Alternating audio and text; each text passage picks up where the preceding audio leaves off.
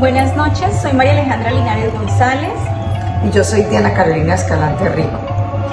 Somos estudiantes de primer semestre de la especialización Gestión para el Desarrollo Empresarial de la Universidad Santo Tomás, sede Arauca. Nuestro plan de negocios es la creación de un parque de trampolines ambientado por medio de tecnología mapping.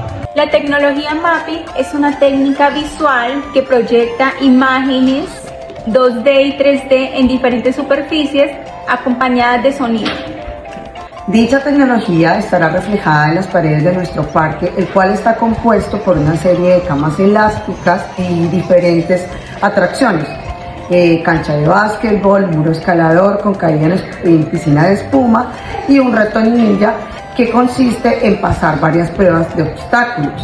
Todo con el fin de fortalecer lazos de amor entre familias y vivir una experiencia tecnológica y única. Nuestra propuesta de valor es la creación de un parque innovador ambientado por tecnología mapping y zonas de trampolines. A su vez, aumentar la oferta que presenta la ciudad de Arauca frente a la recreación infantil para fortalecer a través de los juegos lazos de amor, valores entre las familias, amigos y adultos de la tercera edad. La relación con el cliente será mantener una comunicación personal, respetuosa, cordial, amable, paciente y de calidad con todo nuestro segmento prestar un servicio eficaz y eficiente y tener una relación personal exclusiva con los clientes Diamante. A su vez, crearemos una base de datos, las redes sociales, para tener comunicados a nuestros clientes de nuestros descuentos y los servicios a ofrecer. Y no dejar de un lado la creación de una página oficial del parque. Nuestro segmento de clientes es el núcleo familiar, niños desde los 3 años hasta los 17 años y su familia en general. También contaremos con convenios con colegios, entidades públicas y privadas, hogares del adulto mayor y casas del ICBF. Los canales que utilizaremos será la venta directa en el parque y la venta de entradas por página web,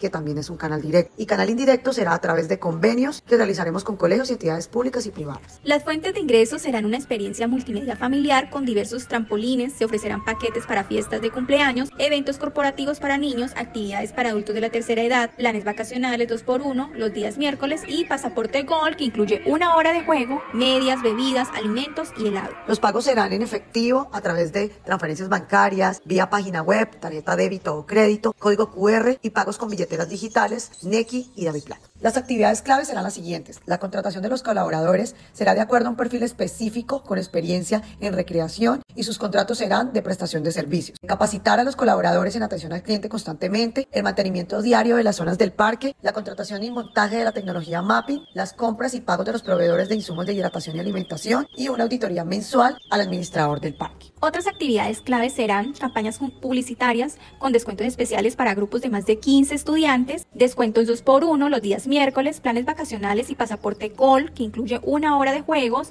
medias bebidas y alimentos.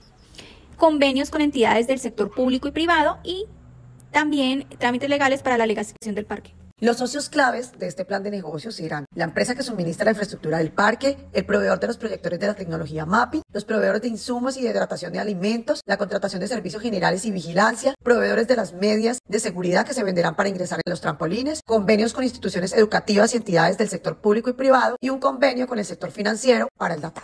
La estructura de costos se divide en dos, en costos fijos, donde está el arriendo del local, salario del gerente, administrador y de los auxiliares, gastos de aseo y limpieza del parque, publicidad, marketing, vigilancia del parque y servicios públicos. Y los costos variables son la mano de obra y materiales para las adecuaciones del local, el transporte y envío de la estructura del parque, la instalación de la infraestructura del parque, sillas, mesas, toda la mueblería para la zona de descanso y hidratación, un computador, un celular, la infraestructura de la recepción y el mobiliario de la misma, la infraestructura del parque en general, los proyectores de la tecnología MAPI y la programación e instalación de los equipos de tecnología.